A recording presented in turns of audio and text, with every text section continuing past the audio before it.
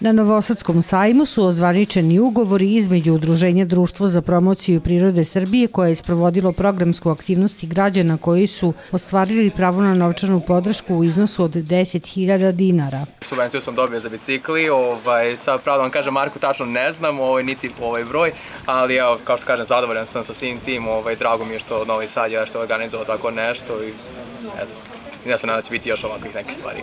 Ne, bila sam nega 1200 i neki broj, sad sam konačno 1126, čini mi se. Izbrala sam bicikl domaće proizvodnje, neke Venera, tako nešto se zove, Explorer. Inače, vozite bicikl ili... Vozim, vozim, trudim se da ono, u letnim periodu što više vremena provodim na biciklu, a ne, u kolima, koliko je moguće. Kupila sam kapriolo, pa znači će mi da mi prosto pomogne da se što više prilagodimo biciklističkoj vožnji po, po gradu.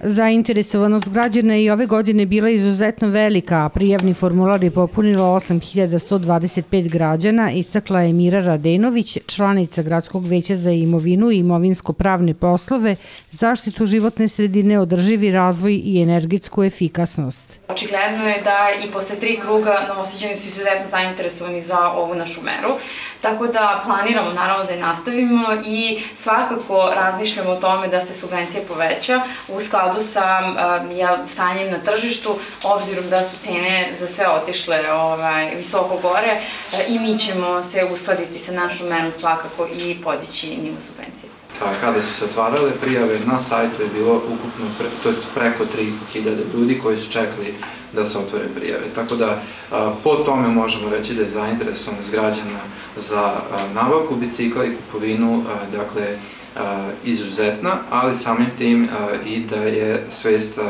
građana usmerena ka ekološkim problemima, rešavanju, dakle, smanjivanja zagađenja izdudnih gasova, smanjenja automobila, dakle, povećana je što je cilj ovog projekta. Krajnji rok kada građani mogu da kupe bicikli i donesu potrebnu dokumentaciju je 5. april do 18 časova.